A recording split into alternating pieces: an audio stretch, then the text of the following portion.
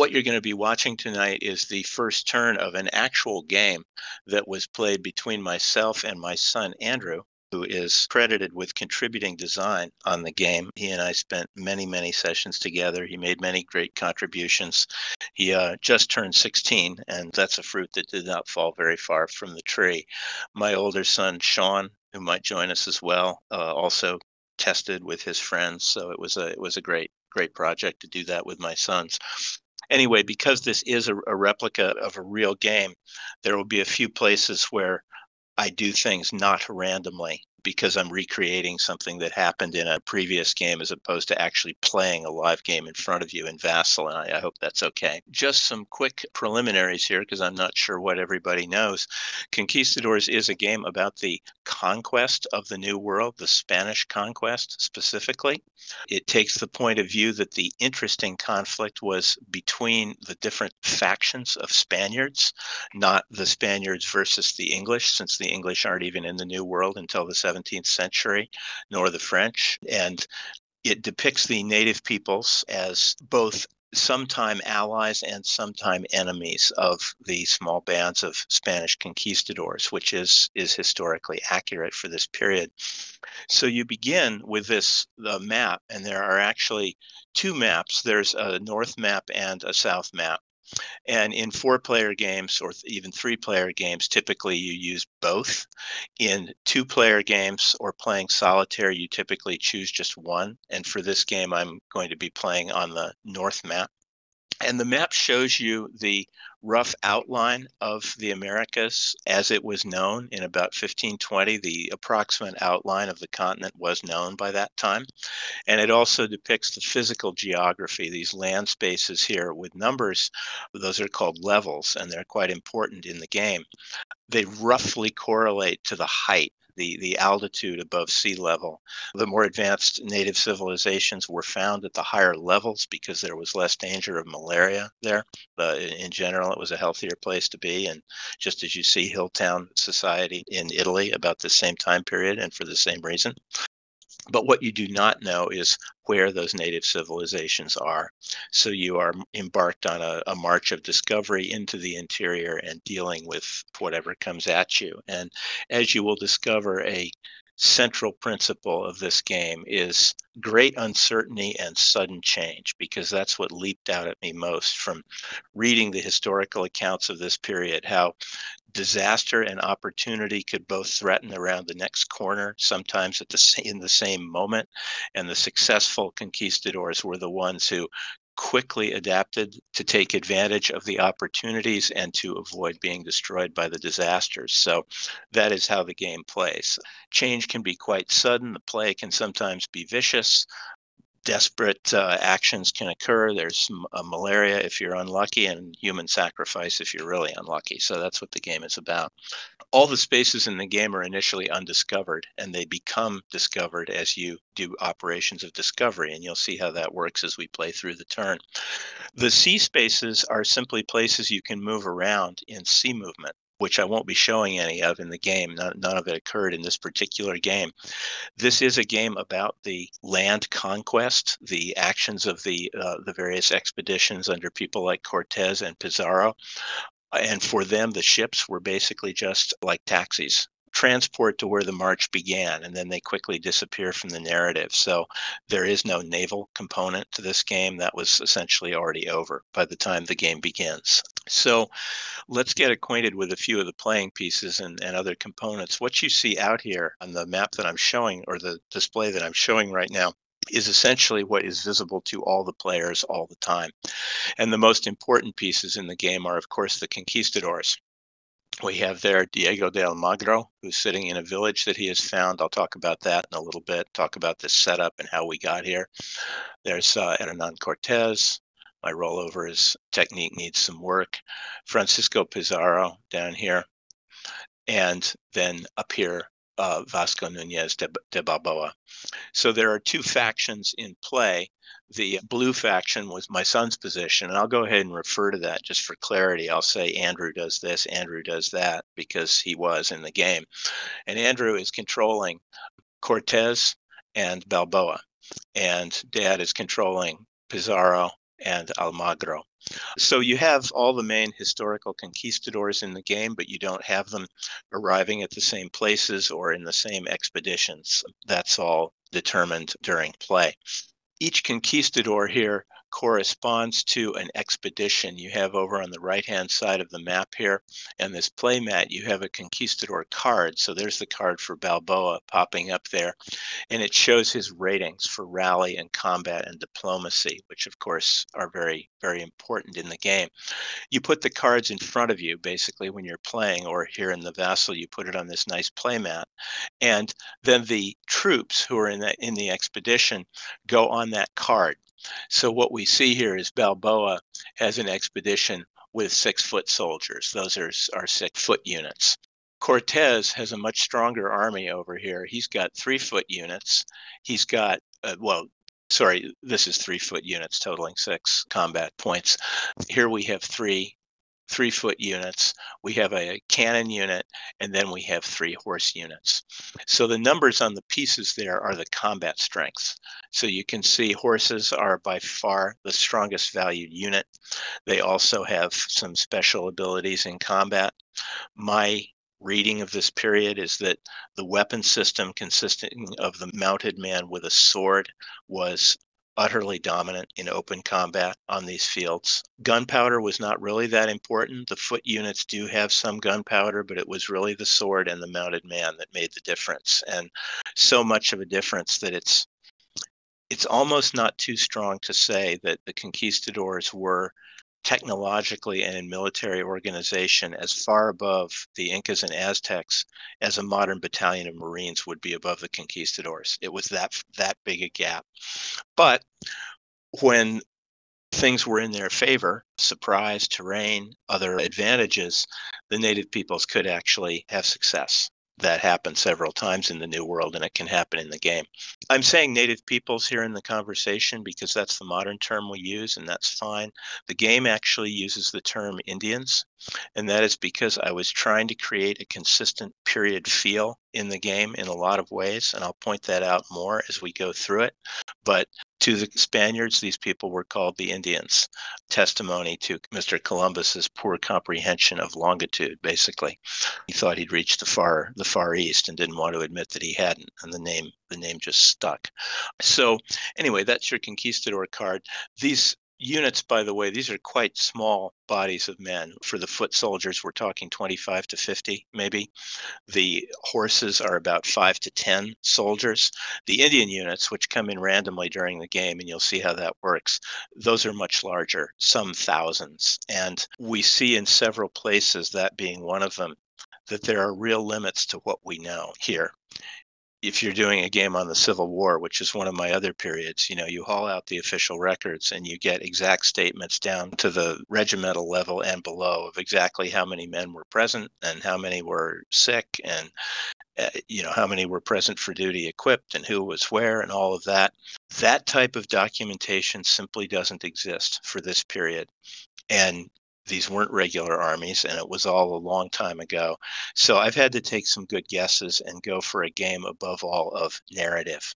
But it doesn't have some of the specifics that a, a game about a more mainstream military topic would have. Some of the other pieces that you get in the game from time to time uh, represent things like gold and food. We'll talk about that as the play goes on.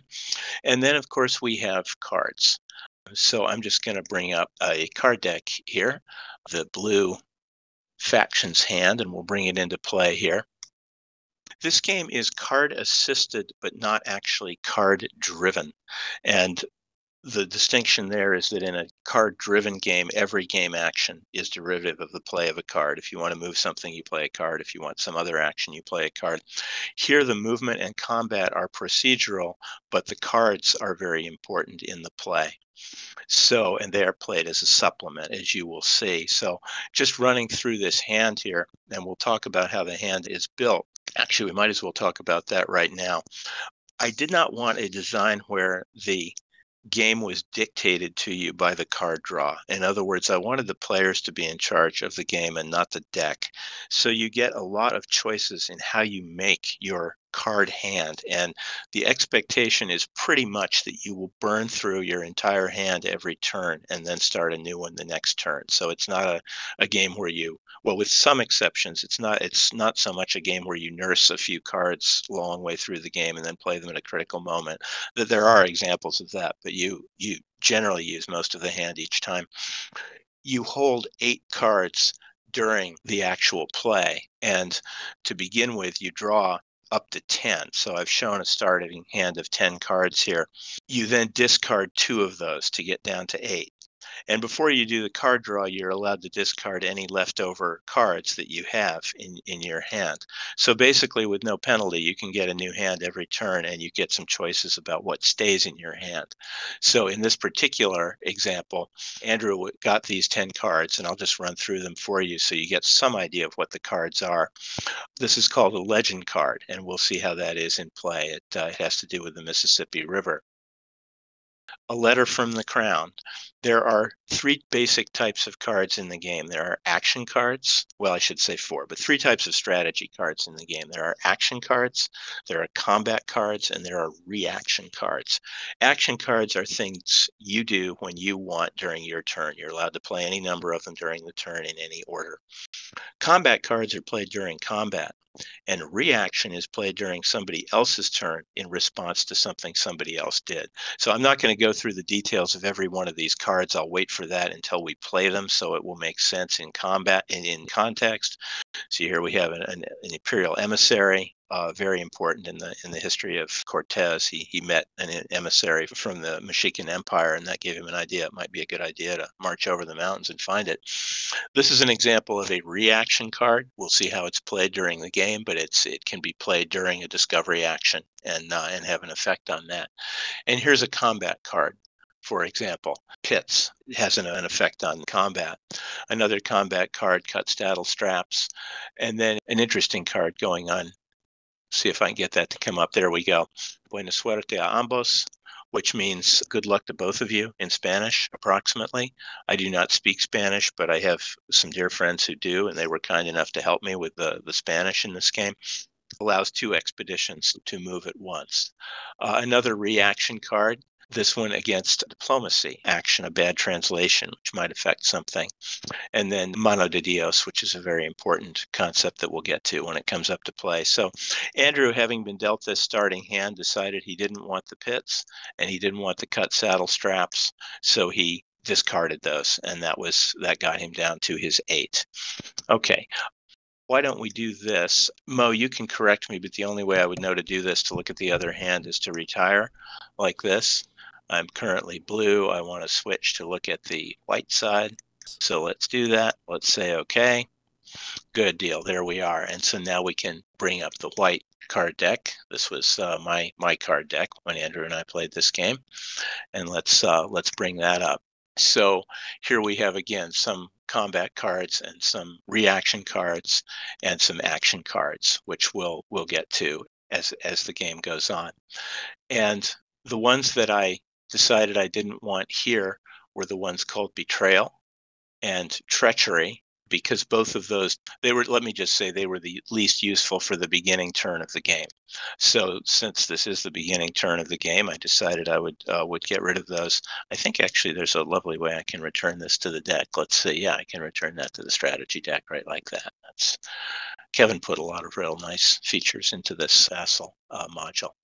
So there we go so now we're down to the eight that i'm i'm actually going to play. And one thing I want to mention is that all of these cards came from actual sources in the sense that they all they aren't just things i made up out of my head. They're things which were referred to in what, some or another source material that i read. So this one here which we won't actually see getting played in this game and that's why i've i've lingered on it for a moment. It's a reaction card you can play against uh, diplomacy. Viracocha. It's may be played against other, any player attempting a diplomacy action. The chief angrily rejects Spanish attempts at conversion, saying he prefers his own gods. And there's a subtraction from the dice roll for that. Viracocha being the supreme or creator god of the Incas. There's one for Aztec god as well, Huitzilopochtli. So anyway, we can put that away. And let me switch back to Andrew's side here, the blue, since he's going to be the first guy to play. We'll go ahead and we can get a turn started here. The game proceeds in game turns, and each of the game's turns is a sequence of impulses. And there's a nice little impulse track here that you can use to keep track of that. It is an uncertain a variable number of impulses. You always get at least three, and then after that, you start rolling dice at the end of each impulse to determine if the turn ends. So you never know exactly how many impulses there are going to be, but there will always be at least three in a turn. And then the game simply continues until somebody has won until somebody's achieved the uh, the required victory points. So I'll put the impulse marker here in the first impulse box. And now, as regards the specific setup, this is what is called the quick start setup. There is a standard setup and then a quick start setup. And in the standard setup, basically everybody begins either in Santiago de Cuba or in uh, Panama and usually travels by sea, although from Panama, sometimes you can travel by land to where you want to start your exploration. And so there's a turn or two of sea movement and initial exploration. And what the quick start game does is telescope that and let us get into the action by basically giving you an initial or uh, inviting you to make an initial setup that reflects what would be the first couple turns of exploration. So everybody starts with a two villages and a, a town and a couple of conquistadors and these are the places where we chose to set up. So this is not a fixed setup. We rolled dice. Andrew got the first choice. He started Cortez here, placed Cortez and this stuff. I got the second choice and I put Pizarro over here. Andrew went third and set up uh, Balboa and then I finished with uh, Almagro.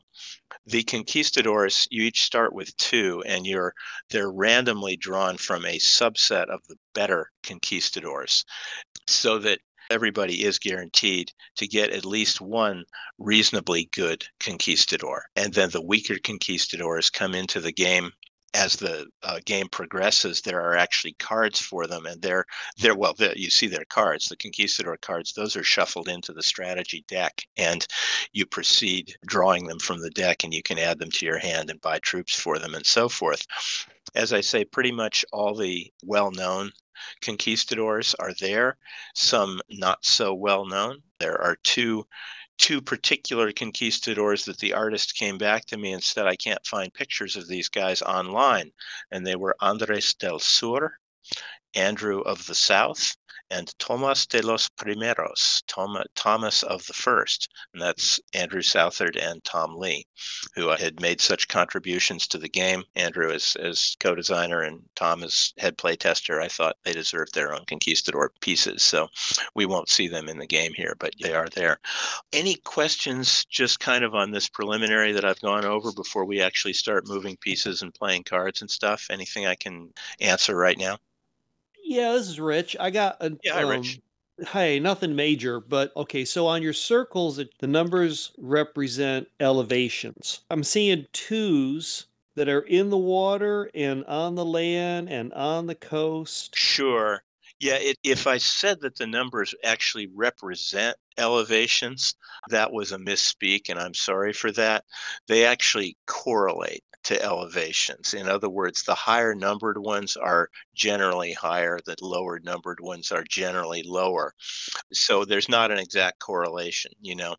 Now, as far as why some of them are in the water and some of them aren't, Central America is a pretty narrow place.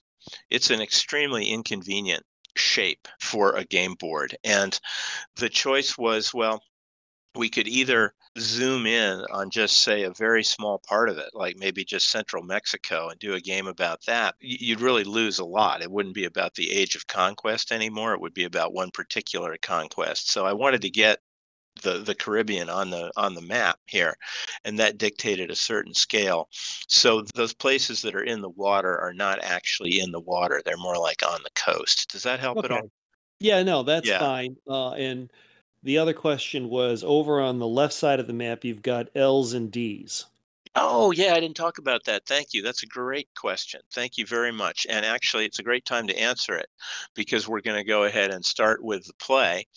And I'm going to bring up Andrew's card deck and let's uh, let's talk about that. So uh, his first play is going to involve the L space here. So I'll answer your, you know, I'll, I'll tell you all about those as as I do this. Let me just note though that in an impulse, you're allowed to play as many of your action cards as you want in any order at any time during the impulse. Other players are allowed to play as many of their reaction cards as they want at any time that those cards are applicable. So each card is only allowed to be played in response to certain types of actions. So that's when they're allowed to play them. And you are also allowed to move typically one expedition move and do actions with one expedition, although sometimes two, as you will see in just a moment. So Andrew's first card play was this card right here. Let me bring his hand back onto the map and we'll show it to you. His first card play was Legend of the Mississippi, may be played anytime the Mississippi legend is not on the map. Place the Mississippi legend in any unoccupied L space of the North map. So that's the L space you were asking about. D is desert, by the way, but L is the interesting one. So, what are the legends? As I mentioned, this is a, a game of point of view. During the age of exploration, there were lots of stories, some of them fanciful, some of them partly true but incomplete all of them highly distorted, all of them very wondrous about things that were out there to be found. Prester John, the king who supposedly ruled over a kingdom of Christians somewhere in Central Africa. El Dorado, the Golden Man, the Fountain of Youth, by the way, another one. And then there were a couple like the Mississippi River and the Amazon, which were actually true. So I decided that to give you an accurate point of view, we needed to have these legends in the game and there needed to be a prospect that they are true. So there is actually a prospect that you will find El Dorado in the game, but not a very high prospect, as you will see. There's somewhat a larger prospect that you might succeed in descending the Mississippi River. So Andrew plays this card, and we'll go ahead and return it, place it in the discard pile. There we go. And then I have the Mississippi piece ready over here, and he's going to place it right there. So his initial spot was carefully chosen for this play. So this is the equivalent kind of of, you know, opening the half in the Super Bowl by throwing a pass and hoping it goes 75 yards for the touchdown because he's going to make a try at finding the Mississippi and there is some chance it will actually work. So that's his play. Now his next play, if I bring his hand back, he's going to play this card, Buena suerte a ambos. The player may move and do an action with two separate in expeditions in the same impulse. No conquistador can be moved twice in the same impulse.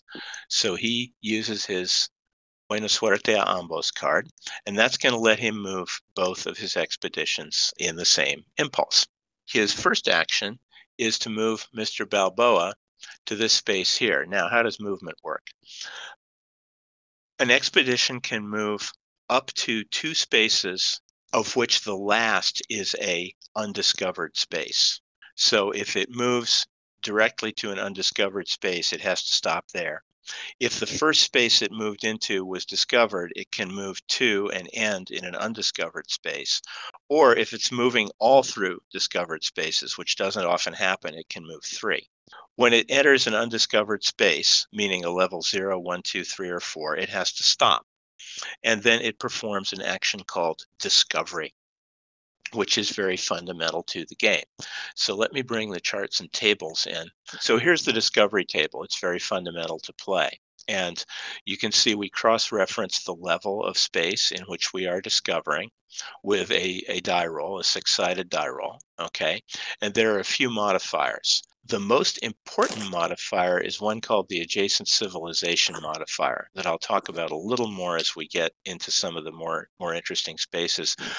What the adjacent civilization module modifier basically does is make it very difficult to jump more than one level at a time. You can go from zero to one, you can go from one to two, you can go from two to three. You can't go from zero direct to four. You will not be able to discover anything. So it forces the discovery to go in this gradual kind of process, which it actually did, beginning by discovering villages, then towns, then cities, and finally empires, which is where the where the, the large amounts of gold are. So Balboa rolls a die, and I'll be doing all the die rolls offline because, as I say, I am re- re- repeating a game that we already played. Andrew's die roll in this case was four, so he found a village. So we'll take that and we'll drag that over into this space, and bam, there we go. We have a village. Balboa has discovered a village. Okay, great. Andrew played the Buena Suerte a Ambos card, so he gets to move his other expedition as well. This is Mr. Cortez. He's going to move to this level two space here and do discovery again. So let's bring back the table, okay, and take a, take a look at it. Now he's in a level two space, but he has a town adjacent to him. Okay, so if we look at the adjacent civilization modifiers here, we are in a level two space, but we have a town adjacent. So the modifier is zero. If we only had a village adjacent and no and no town, that would be a minus three. That would be very hard. And if we didn't have anything adjacent, it would be an X, meaning you can't find anything because you just didn't. It didn't happen that they walked through the jungle and suddenly came upon a massive imperial city. That's not how it was. They came to villages first, and then smaller towns, and then larger towns and cities, and so forth. That was the the actual process that discovery followed. So we are in a level two space. We have a, a zero modifier and Andrew's die roll in this particular case was a four, so he gets a town.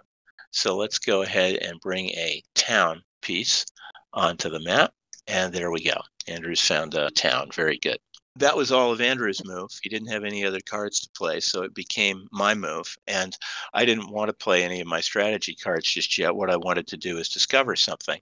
So I took Mr. Almagro here and moved him to try to discover something in the space. Now that's a level one space and there is a village adjacent. So let's go ahead and bring the charts back. Good. So here's the discovery table. So we are in a level level one space, as you can see. And the modifier for adjacent civilization is again going to be zero. And my die roll in this particular case was a one, which was really unfortunate. I didn't find anything. So that discovery failed. Okay. By the way, there are these uh, little white circles here. Those are modifiers to the discovery rolls. They make it less likely you will find anything and more likely you will find mosquitoes. They actually correlate with the actual layout of malaria as it still is, unfortunately, in Central America. I, I was guessing that it probably was pretty much the same then. So that's that's where those spaces uh, those spaces come from. So that's the end of the first impulse. Fairly typical first impulse so far, except for Andrew's play against the uh, the Mississippi here, which is unusual. Andrew decided to move Cortez to this level three space here in the hopes of doing discovery. And this is obviously a good position to be in because he has two different level four spaces adjacent so two possible chances to find an empire or to find something something else useful so i decided at that point it was time to time to do something about this so we will go ahead and switch to the white side which is my side there we go. And we will bring the card deck up and take a look at my options for card play. And the card I decided to play was this one here called Indian Ambush. May be used against any expedition attempting discovery in a level one or higher space. Draw some units and attack. And there's a reference to the, the little paragraph in the rules that describes exactly how that's done. And what you will find if you go look at that is you're actually supposed to draw two units randomly. So, as I say, since we are repeating a game that has already been done, I have the units already here. I haven't uh, uh, we since we we already drew them, and I wanted to replicate what we actually did. There is a 40 strength unit, and here is a 15 strength unit. So those are pretty strong. The 40 unit has the interesting property that it has it is back printed. The the heavier Indian units are back printed. So you can see if I were to flip that over, it becomes a 15. There it's on its full side of 40. And you'll discover in just a moment how that works with the combat. But there is a little bit more card play to do first. In addition to the Indian ambush, I decided to play this card Painted Warriors. Play in any combat involving Indian units. All Indian units in this combat are doubled. Does not, however, apply to Indian allied units, which are part of a Spanish expedition. As we will see later, Indian cities can ally themselves with the Spanish, and in that case, troops from those cities join the Spanish expedition.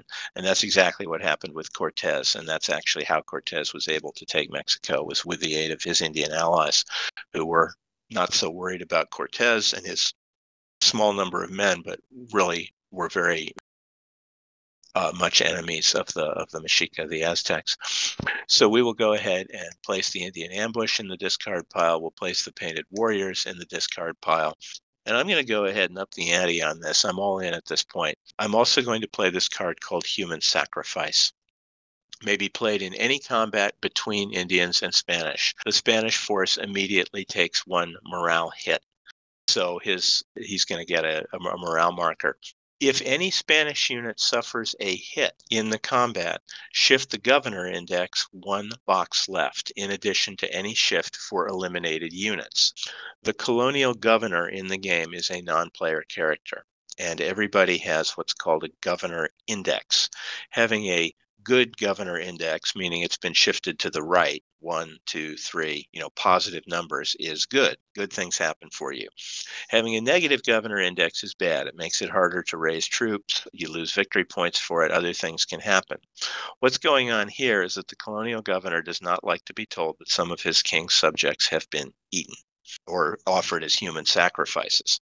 He doesn't like that. That's why, you know, where this where this card came from. And of course, you know, as we all know, the Aztecs did practice human sacrifice and practiced it on some of the uh, of the conquistadors whom they took prisoner. So we will go ahead and place that in the discard pile. I have played that, so i am down to five cards now.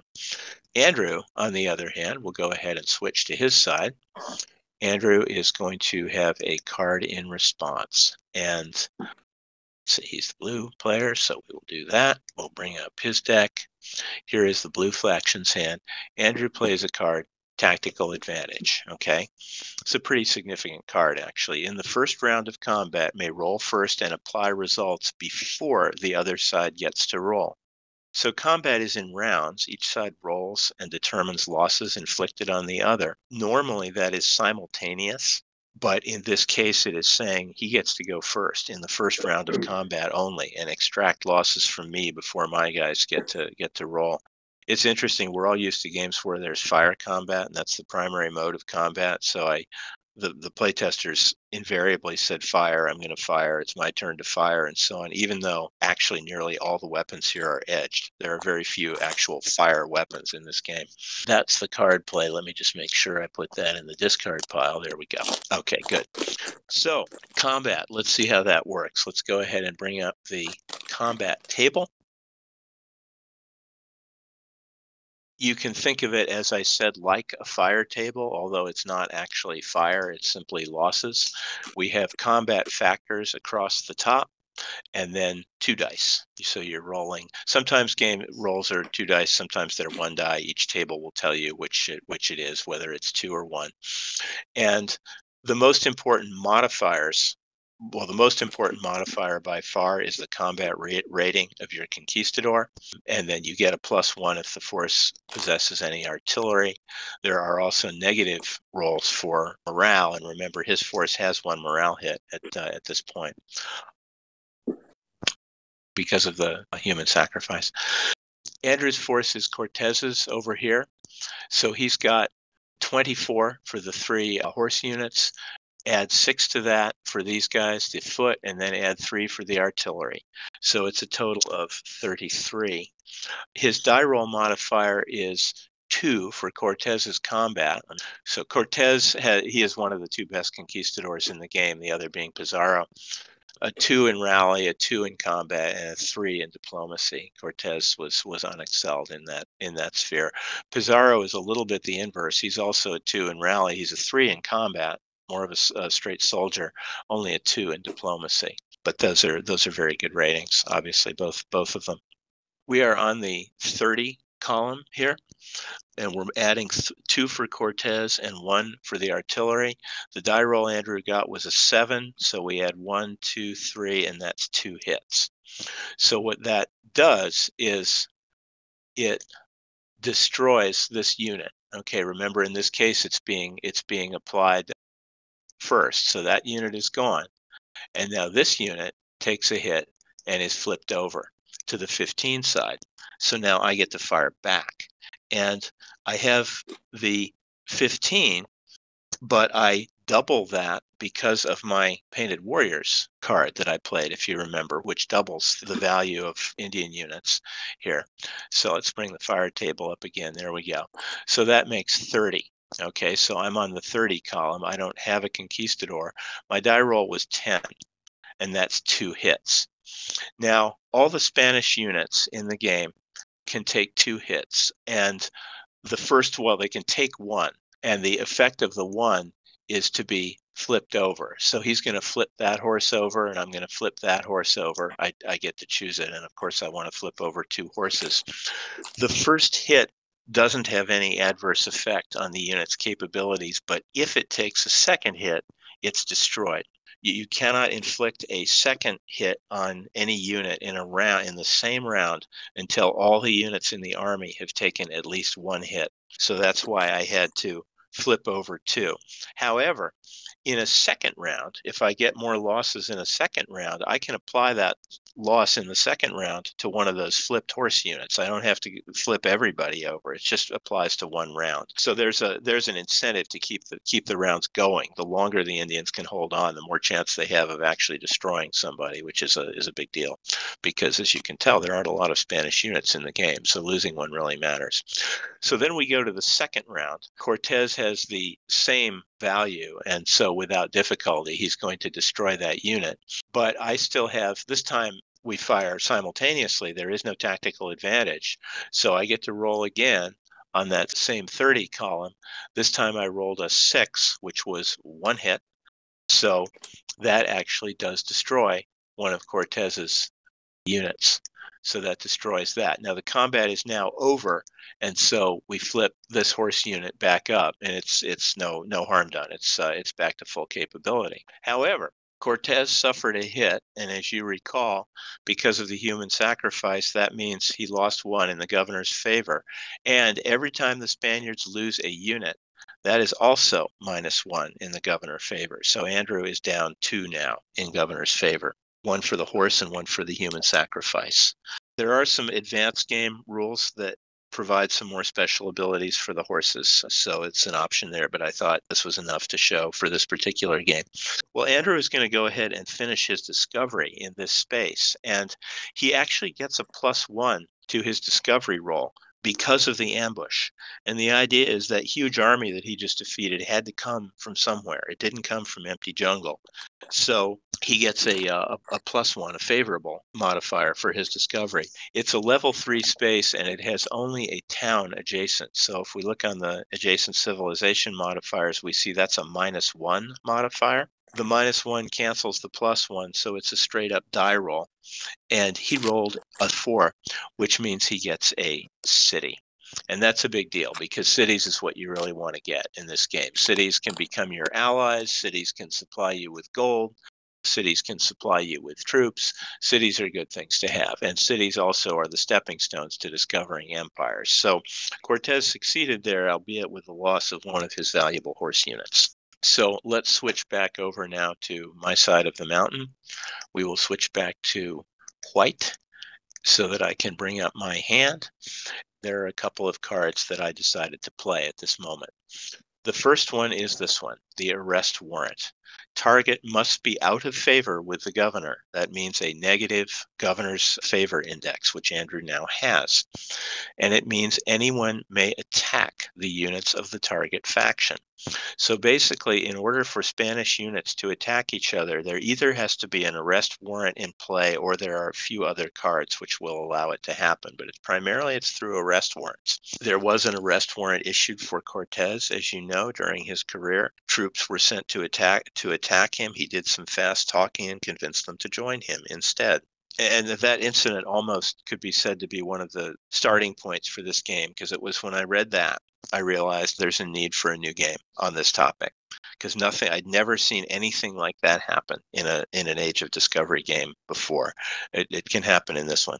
So that's the arrest warrant, and when we play it, typically you put it out on the map and you you put it next to the player against whom it's been played. But I'll I'll just clear it out of there uh, so we know that.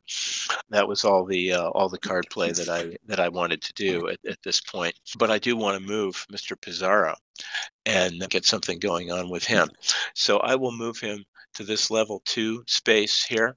That's a nice space because it has several adjacent level three spaces. And you have to think about that as you play a little bit because if I should fail in discovery in one of these level three spaces, it's good to have alternatives. So there's a kind of central position effect that you think about as you work your way through the board. It is possible, by the way, for uh, sections of the map to be sort of cut off. If you look at this on the southern map, if you get a bad, an adverse discovery result in these two spaces here that I'm pointing to, then this whole section of the map, which could have been an empire, is cut off and does not come into play, which of course was true. Historically, there never was an empire there, but there could have been one had history turned out a little differently. And there is also a card which allows you to remove discovered markers from a space. It's a, to recycle them, in other words, so that you can open something up for discovery again. Historically, that would correlate to getting more information or, you know, getting another map or somebody coming and telling you something. That's kind of what it would simulate historically. But so it is possible for sections of the map to be reopened in, in that way as well. So Pizarro moves to the level two space. I won't go through all the details of it again, but it's the same discovery process. And suffice it to say that he did find a town. So that is the end of the second impulse. So Andrew, as luck would have it, or my bad luck would have it, possessed this card Letter from the Crown cancels an arrest warrant. Now that can be one that was played against you or played against somebody else. You know, sometimes it's a good idea to do that. You do see some cooperation in the game between players, but you don't see alliances. It's not like diplomacy, say, where you ally with somebody and then suddenly cut their throat. You're basically trying to cut everybody's throat all the time. And if there's occasional cooperation or convenience, that's fine. But it isn't the same as, as a game where you think you trust people and then suddenly discover you can't. If you trust anybody in this game, you, you didn't quite get the concept. You know, these are desperate men out for gold. So Andrew played the, the letter from the crown and he decides to move Balboa. Now, Balboa can move right through the desert. You don't have to stop there for discovery. He moves into the space with the Mississippi and he tries to find the legend. Now, that process of finding a legend is not the same as normal discovery. There is a separate table for it, which is the legends table. And these are the different legends you can have in the game the Amazon and the Mississippi, the Fountain of Youth, the Seven Cities, El Dorado, and Prester John. Prester John was actually more an African thing, but I thought, what the heck, let's put him in this game too. I mean, he's a he's a fictitious character, so we can do what we want. What you will discover is that the way this table works the good results for the player are down here on 11 and 12 on two dice. Basically, if you roll the 11 or 12, if you look at this line, really nice things happen to you and you get a lot of victory points. So, in the case of the Fountain of Youth, that means you found the Fountain of Youth. A spa is discovered whose waters appear to have a remarkable rejuvenating effect. Spaniards declare it to be the fountain of youth. Remove any morale hits on expedition. Flip marker to found side. Very nice. On the other hand, for something like the Mississippi, for example, result C is the good one. Expedition descends entire length of major river. Remove expedition from play and return it Panama or Santiago de Cuba, whichever is closer at the start of the next turn. Flip marker to found side. So that means the thing was real and you found it. And as you know, the Amazon was descended during this period by Orellana who was killed attempting to repeat the fact. But then A and B, which are much more likely outcomes, are not so favorable for you. A is expedition meets with a serious accident and which can be a fatal disaster or you just get lost for a long time and you don't accomplish anything. B is well, you discover the river, but you can't descend it, leave the marker in place, and so on. So there's a small chance of something with a lot of value. In the case of the Amazon and the Mississippi, since they were real, the chance of that high payoff is twice as big as for the others. So Andrew, in this case, rolled a two, which is X. Expedition commander dies in accident. Leave marker in place. And I was being pretty smug about that. And then he made a card play, which is this one Mano de Dios. Mano de Dios is Spanish for hand of God. And the Spanish conquistadors firmly believed that they were carrying out their God's will in doing these expeditions that they were conquering you know they were there to get gold but they were also there to spread the spread their faith and they believed that god would watch over them in tight places and that's what this mano de dios is trying to capture you get some of them as action cards like this, just drawn from the deck, but you get them mostly as a result of diplomacy actions. And that's because it was in the, that diplomacy process that the attempts at conversion were done. I didn't want to put a conversion thing in the game explicitly. I didn't see the need for that. But when the Spaniards would come into a new town and try to do diplomacy, the first thing they would do is put someone from the expedition or a missionary, if they had one, front and center, and he would read this thing to the natives who probably didn't understand any of it.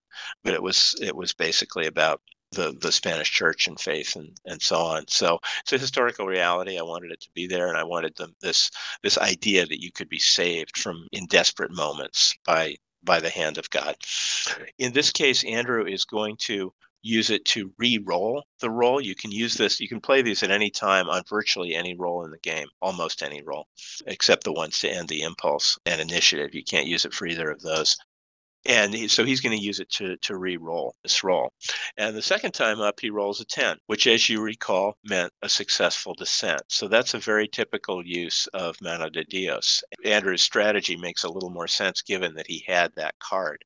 So basically, Mississippi not sure what happened to the marker. Anyway, doesn't matter. The marker would be flipped to its found side, and Andrew gets 60 victory points. There is a track for that in the game, but I won't bother to scroll up there and show it to you. Just just know that Andrew has uh, has 60 victory points. The expedition, however, Balboa, per the terms of the card, is now removed from play and for the remainder of the turn because it takes a long time to descend the Mississippi. So he is oh there we go. There's the Mississippi. Let's see if I can flip it to the to the found side. Nope. That's all right. Doesn't matter. He'll come back at uh, either Santiago de Cuba or Panama next turn. Henry can put him wherever he wants, but he's he's off descending descending the Mississippi successfully. So meanwhile, what I do in my impulse is I'm going to move Pizarro. Let's scroll down just a tiny bit. I'm going to move Pizarro to this level three space. Once again, this central position idea, I'm in between two four spaces here, so that's a pretty nice place for me to be. And I will go ahead and roll for discovery. But we're going to see some card play as part of that. So let me switch over to my hand. So the card I'm going to use is Local Guide and a plus one die roll modifier to one discovery attempt against any level space. Discard after using. So there's my local guide. I will put that in the discard pile. That gives me a plus one in discovery. Let's see if we've got the, the charts uh, handy. Uh, there we go. Okay, good. I'm in a level three space. I have a plus one because of the local guide. I roll a three modified to a four. And I get a city, which is what I was was hoping for because as, as I say, cities are a good thing to have.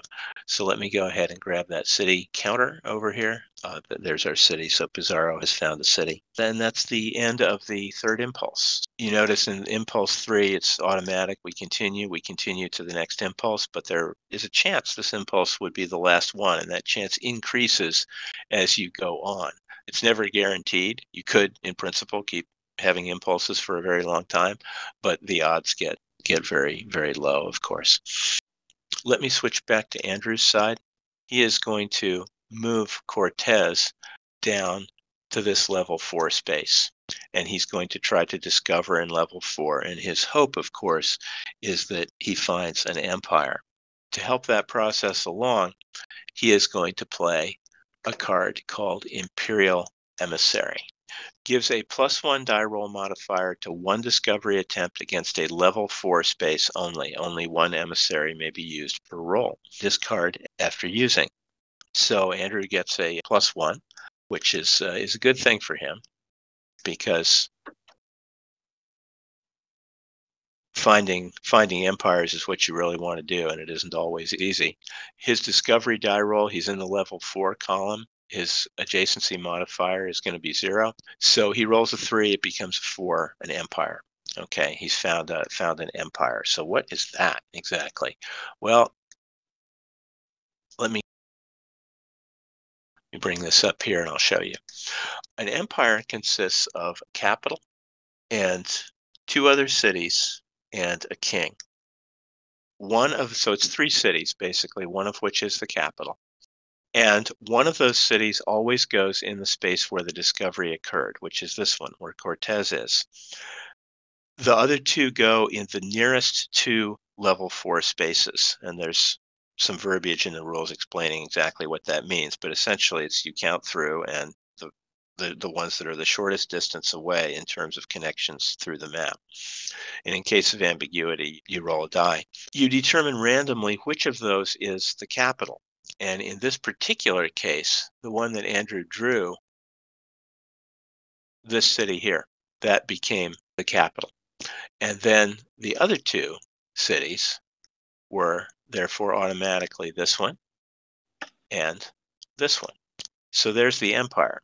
So this is roughly correlates to the Mayan Empire, which, as you know, was in it had largely decayed away by the time the actual Spaniards arrived, but the ruins are still there in Central America. So, what's happened in historical terms in our game is that the Mayan Empire was still a very much a going concern, and Cortez found the Mayan Empire instead of finding the Mexican Empire, which is over here where, where Pizarro is.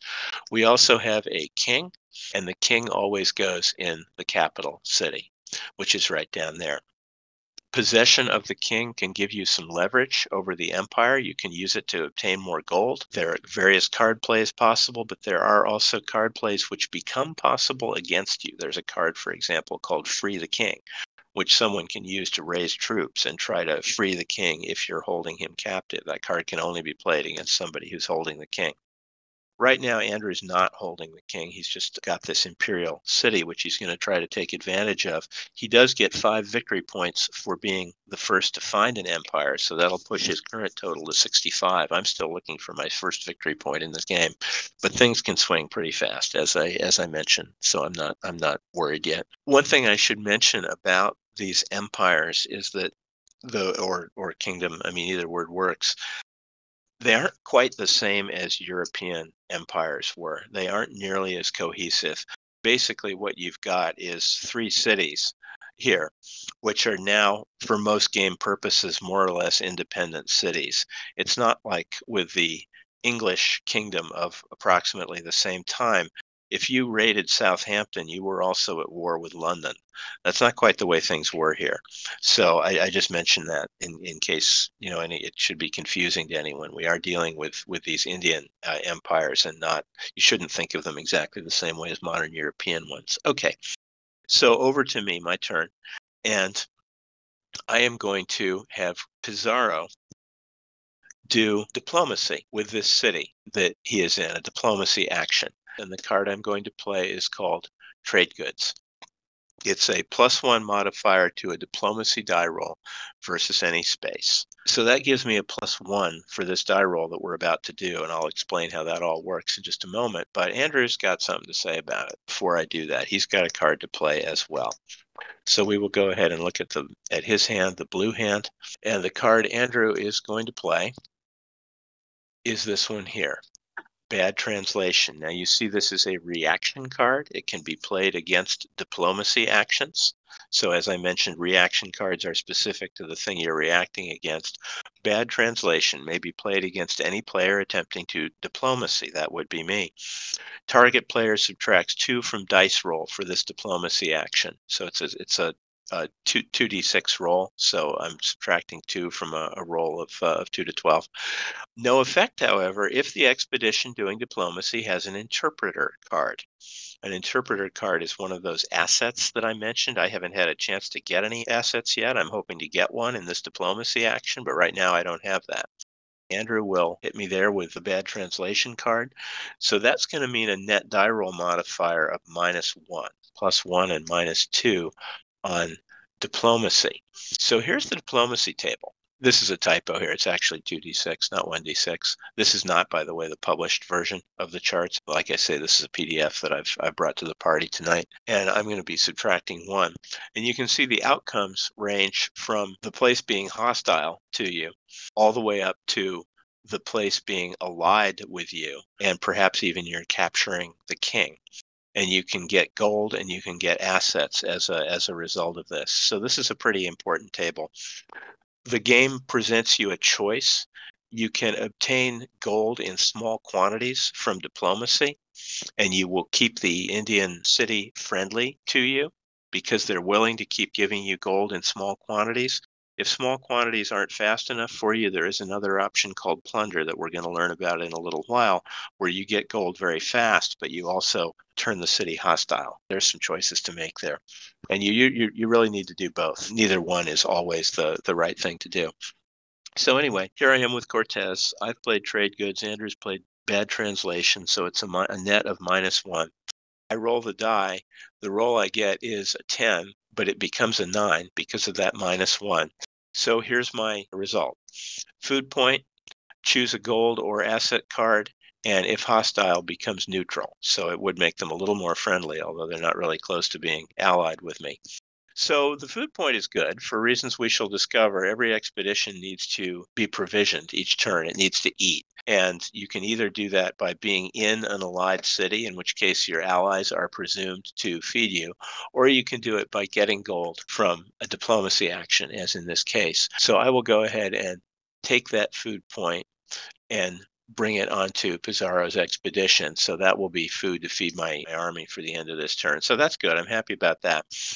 And then I said, I get a choice. I either can get some gold or I can get an asset what's that all about? Well, the choice of gold means that I'm going to t- do another roll on this diplomacy gold table, and you can see there's a couple modifiers for that. And this is a number of gold points that I get. So I could get quite a lot or I, I could get get none. You know, this is the range. The choice of asset, on the other hand, is I get to pick a card from the assets deck and add it to my expedition. Now, strategy cards, the ones we've been playing so far, are held secret in each player's hand. And you've seen me been flip flopping between Andrew's hand and mine. Asset cards are not. Asset cards are public and they're attached to an expedition, so they would go on the on the playmat. I don't have an immediate need for gold right now. So I'm going to go ahead and get an asset card because assets can be really useful. And we'll just go ahead and, and draw one here. There we go. So we'll just bring that over onto Pizarro's expedition here. I'll just put it there.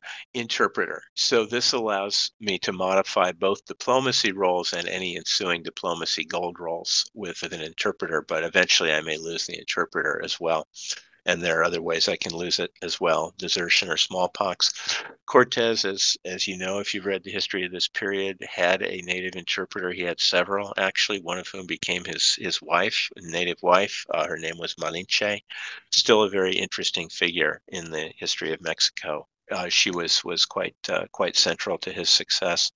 So let's go ahead and scroll up here back to the back to the map, and we'll go ahead and zoom out a little bit. So Pizarro has that interpreter card to be used for future diplomacy actions. So that is the end of the fourth impulse. And checking up here, we will see that there is a chance on the fourth impulse that the turn will end. It roll ends on you have to roll two dice. It doesn't matter who rolls it.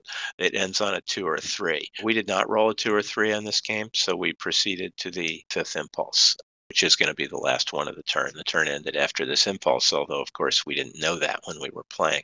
Andrew decided to get some gold. One reason being that he wanted to make a gift of gold to the governor. I'll explain how that works in just a minute, but also Andrew just likes gold. So he um, decided to plunder this imperial city that he had found. So plunder is the other basic action. We've talked about movement, we've talked about diplomacy, we've talked about combat. There is also rally, which you can use to, to get rid of morale hits. But then the last of these actions is called plunder. This is an imperial city we don't have any hostages. We don't hold the king captive, and this is the first plunder attempt this turn. So there are there are no uh, no modifiers. Andrew rolled a, a, four, so he got 25 gold. A die roll of four in an imperial city is 25, so he got 25 gold points. So let's talk a little bit about how that works. Gold and money are in the game in three forms. Initially, you get gold. That is what that is what you get through diplomacy and through plunder you can choose then to convert that gold to either pesos or victory points. And that's a one way conversion. It can't be converted back from pesos to gold or victory points to gold. And you can't convert between pesos and victory points. Pesos are spendable money that you can use to raise more units and for a few other purposes in the game, but primarily to raise units. So it's the money you use to run your expedition. Victory points, on the other hand, is what you came here to get. That represents gold that you have sent back to Spain. So you have a choice, really, of how fast you're going to accrue victory points versus how much you're going to spend on on more forces. And it's it's an important uh, decision to have in the game. Now, Andrew plundered this city, and so he then has to roll 2d6s to determine if the city is plundered out, plunder exhaustion. And for each additional plunder attempt you do in the same turn in a given space, the more likely that becomes. So in this particular instance, he rolled a four on two dice. The city was plundered out. So that was the end. That was the end of his city. So that means the plunder is all exhausted from uh, from that city. So Cortez is not not very happy about uh, about that at all. I should mention though, I'm sorry, I forgot something pretty important. Apologize for that, which is that the Indians don't simply sit around and watch you plunder the city. You actually have to fight them. When he declares the plunder action, it makes the city hostile and you draw units for the city. And in this case, he actually drew three rather rather weak units. Let me see if I can find them over here. Yeah, there they are. Okay, these these guys here. So he drew. We drew a. I drew, I should say, an eight, and then a five. Scrolling up. Anybody? There we go. And then a 10. So I wasn't too happy about that because I was hoping to get some more hits on Cortez with this Indian force. You know, it's an imperial city, so you draw three units, but this is only 23 points worth of combat, which is about as weak as you're going to get for for an Indian force of, of three units. But oh well, that's what it is. So these fight. Andrew's force is now down to 25 because he lost one of those force units. If we go ahead and, and bring the, the combat table up here, let's find the find the combat table. It's up here. We use the 24 column, and he's still got the plus plus two die roll modifier for his leader Cortez, plus one for the artillery. So he rolled a seven, which became a 10. So that was that was two hits, and and each of those weak Indian units is eliminated by a single hit. So that's that's two of those destroyed. Now he didn't have a tactical advantage in this game, so these guys will get to fire at him at the same time. So they have eight plus five is thirteen plus ten is twenty-three. So they use the twenty column. I, I have no modifiers to my roll. I rolled an eight, uh, which is one hit. one of Cortez's units is going to get flipped over. So there we go. On the other hand, my two strongest units are going to go away. So there we are. So we go to a second round. Andrew's strength is the same. So he is easily able to eliminate that hit, that, that unit. And then there's only five combat points left. So they actually accomplished nothing. So they didn't eliminate his, uh, his unit. So anyway, I'm sorry I forgot to do that combat before plundering. I apologize for that being a little confusing, but you fight the combat, then you do the plunder, and then that brings us back to where we are now, uh, with the city plundered out and with Andrew sitting with uh, with 25 points. Andrew did, however, decide to do one more thing in this turn which is he converted some of his uh, he used some of his gold uh, he's got these 25 points of gold and he decided to make some use of it. And the first thing he did was to give a gift of gold to the governor in the hope of shoring up his relations with the governor. So you can make a gift of gold to the governor and here's the table for that. Basically you have a, a, gift consists of three points and then for every uh, additional three points you get another plus one on your on your roll on two dice. Andrews decided to just give three and he rolled a four. So the governor received the gift politely but was not impressed. No change in the governor's governor index. It is at least better than if he'd rolled a two. Governor is insulted by the small size of the gift. Decrease your index by one. That at least did not happen. So then Andrew decided to do a what is called a division of gold. And he decided to take 20 of the remaining points and do a division of gold. And what that means is actually dividing the gold among the men in the expedition. And it's an unfortunate place where you have to do just a tiny bit of math. The rule was, or the law was, that a fifth of all the gold findings went to the king. So one fifth of the gold being divided went to the king. So that's four out of the 20 points. And then all the guys in your expedition want their share. So for every two horse units and every four foot or artillery units, you have to deduct one point of gold. So Andrew had two point two horse units, that's one point, four of non-horse units, that's another point. So basically, he gives four to the king, he gives two to his troops, and that leaves him with a net of 14 victory points that he can book. So his victory point now total was 79. 200, by the way, is needed to win. So he gave three to the governor. He convert he divi- divided 20, and then he con- decided to convert the remaining gold to pesos. So he he has uh, has two pesos to spend, and that that would be used to buy more units. Although I'm not not going to show that part. Well, my last move in turn was I moved Almagro. I had failed to find anything here. So I moved him through this village, which is already discovered. So remember, I can move him on right there. And I moved to this space here and tried to discover there. And unfortunately, I found nothing except, as luck would have it, mosquitoes. So again, I, I, know you know how to do exploration at this point, so I won't go through that. But that was kind of unfortunate. So there is my mosquito marker. Honest to goodness mosquitoes, which is not not a good thing for me. So that was the end of the impulse, and we rolled a die at that point to determine end of turn. And in this case, we rolled a five, which means the end of the game turn. The turn is over. There are a couple of housekeeping things to do. One of them is that Mr. Balboa would return, and Andrew elected to put him at Santiago de Cuba, where Andrew will, will be buying some troops next turn. And we also need to eat. Pizarro's expedition eats up the food point, which it, it had gotten through diplomacy uh, action. So that's uh, that's good. I can uh, I can remove that from play. Everybody else, however, needs to do a die roll because they they don't have any any actual food. So the way that works is there is a uh, a morale check table which you uh, you use in this situation and also also in certain others. Let me see if I can find it here. Where are we? There we go, the morale check table. Okay.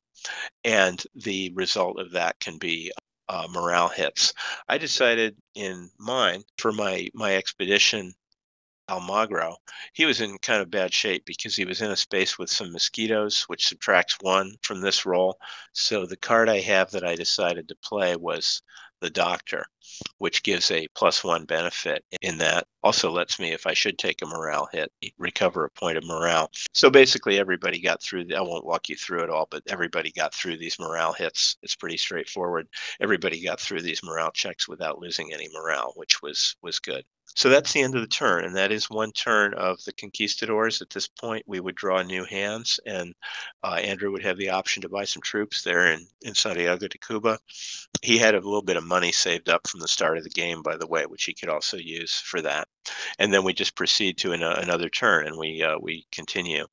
I would be at this point attempting very hard to find an empire here that I could could get some gold from to match what Andrew has done here, and there might be a little bit of a competition down here to to try to to get that city as well. So anyway, that's what I wanted to show you. We've touched on pretty much everything. I think if you were to break the game open, you could probably play it now from what we've talked about tonight, although you'd be referring to the rules in a few places, but you certainly would know enough to sit down and, and have a have a learning game anyway. I would be glad to take questions or comments. John is Rich again. Uh, on the plundered yeah, city, so it's no longer a city after it's plundered.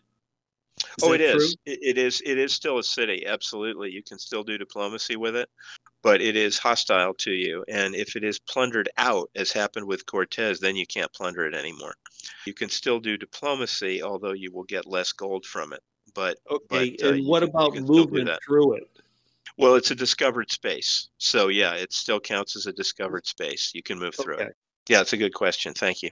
I was trying to keep things simple and fast moving just on the theory that no one was going to want to spend the same kind of you know time and effort on this period as they would on say a new game about the battle of the bulge or normandy or whatever. This just isn't a mainstream topic you know? So my i was thinking maybe maybe more at Consim World, this might be something people would do while they were waiting for the other side to move in the big monster game they were playing. You know, something something more along those lines. I can so see where this would be a lot of fun with multiple players. Yeah, that's really what it was designed for, and it but it does work well with two as well as you've seen. This is a two-player game that we were illustrating here. I hope everyone feels feels it was time well spent. So thank you for for coming out tonight.